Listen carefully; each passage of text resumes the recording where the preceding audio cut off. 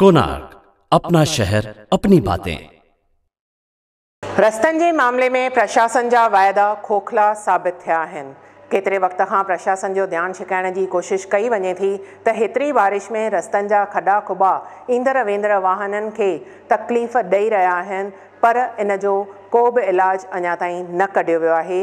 वेतर उहे खॾा वञनि था जेको रस्तो हूअं आम तरह सां पंद्रहंनि मिंटनि में काई गाॾी तय करे अधु कलाकु वञे थो।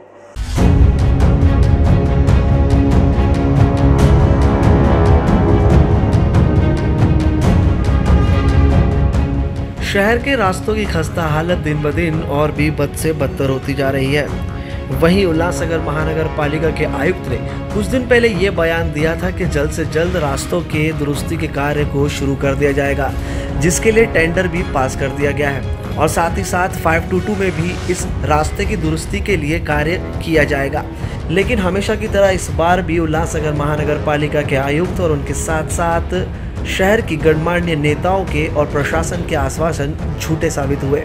शहर की खस्ता हालत लोगों के लिए जी का जंजाल बन चुकी और ऐसे में लोगों की जानें भी शहर भर में खतरे में नज़र आ रही है।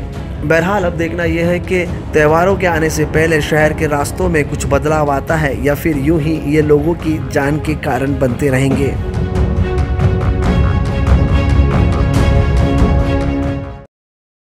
कोनार्क अपना शहर, अपनी बातें।